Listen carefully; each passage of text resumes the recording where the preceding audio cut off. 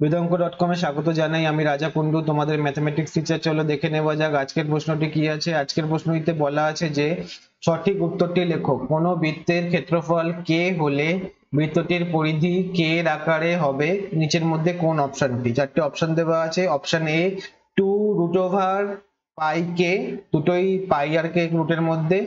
Option B two pi K option C pi root K option D K root pi চলো দেখে নিচ্ছি। শুরু করছি। তাহলে এখানে বৃত্তের যেহেতু কাজ করতে হবে, তাই বৃত্তের যেহেতু ব্যাসার্ধ দেওয়া নেই, আর ব্যাসার্ধ ছাড়া কোনো কিছু সম্ভব নয়। এই প্রথমে ধরে নিই, ধরি বৃত্তের ব্যাসার্ধ সমান আর একক। তার থেকে আমরা কি পাচ্ছি? তার থেকে আমরা পাচ্ছি বৃত্তের ক্ষেত্রফল সমান পাই আর স্কোয়ার। বর্গ একক। আমরা পাচ্ছি বৃত্তের ক্ষেত্রফল সমান পাই আর স্কোয়ার বর্গ একক।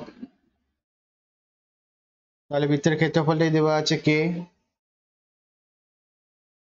তাহলে শর্ত অনুসারে করে দিলাম। শর্ত অনুসারে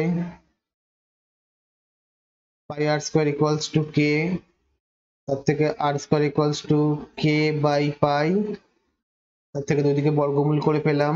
R equal to root over K by pi R এর মান পেয়ে গেছি। আমাদের চেয়েছে যে বৃত্তের পরিধি। সুতরাং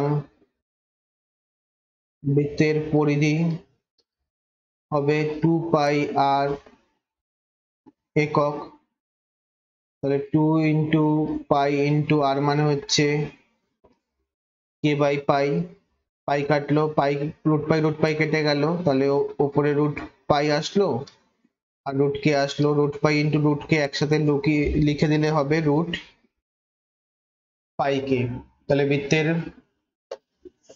পরিধি হলো root pi K option A এর সাথে এর মিল পাচ্ছি, তাই হলো অপশন এ এটাই ছিল আমাদের নির্ণয় উত্তর। থ্যাংক ইউ ফর ওয়াচিং বিদঙ্ক ডট কম অঙ্কের আরও প্রবলেম এবং সলিউশনের জন্য আমাদের ওয়েবসাইট অবশ্যই ব্রাউজ করো। Thank you